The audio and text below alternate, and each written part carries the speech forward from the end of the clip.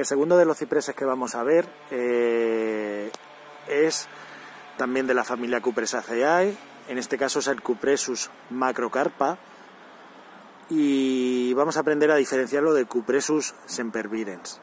Lo principal que vemos en, este, en, esta en este vídeo es la tonalidad.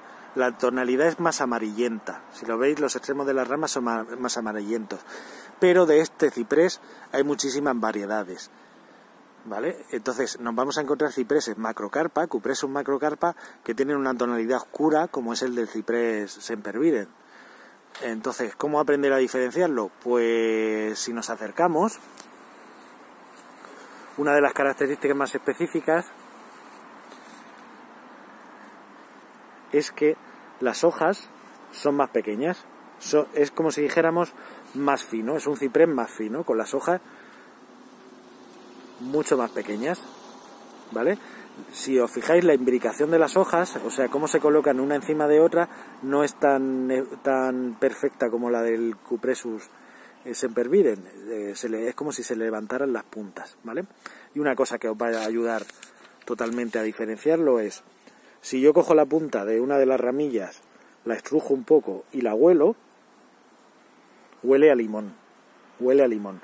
El otro ciprés no huele a limón. Si yo estrujo esto lo huelo, aunque a mí me huele a fregasuelos más que a limón, pero bueno, eh, los libros dicen que huele a limón, y es cierto que huele a limón, mientras que el otro ciprés y ningún otro ciprés huele a limón. Este ciprés hay una variedad muy concreta que es el Gold Crest, que es el, si habéis ido alguna vez a Ikea, lo venden, es un ciprés prácticamente amarillo, ¿vale? O verde amarillento. Ese es en concreto este ciprés. ¿Qué características tiene? Pues em, normalmente las variedades híbridas que venden no, no, tienen gálbulos, no presentan piñas, no tienen. Si tuvieran, si encontramos alguno que no sea híbrido, nos encontraremos que las piñas cuando envejecen no se vuelven grises como las del Cupressus sempervirens, sino que permanecen de tonalidades rojas. Eh, pero ya digo que va a ser poco habitual que este ciprés tenga. en cuanto a a las condiciones de jardinería, pues deciros que este ciprés requiere bastante riego. Por tanto, es poco, poco útil para aquellos jardines en los que no voy a tener riego por goteo o suficientemente agua, se nos va a secar.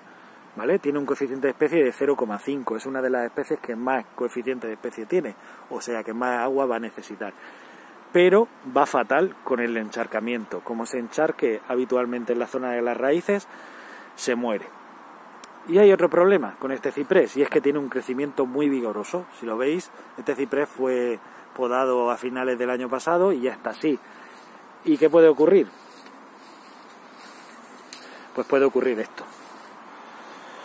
¿Qué ocurre? Si os fijáis, el armazón del ciprés está seco porque no entra la luz, con lo cual en el interior no hay hojas.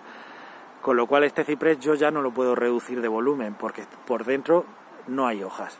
¿Qué pasa? Que requiere podas muy frecuentes para ir quitando las ramillas que me sobran y que no se vea el armazón del ciprés en el interior.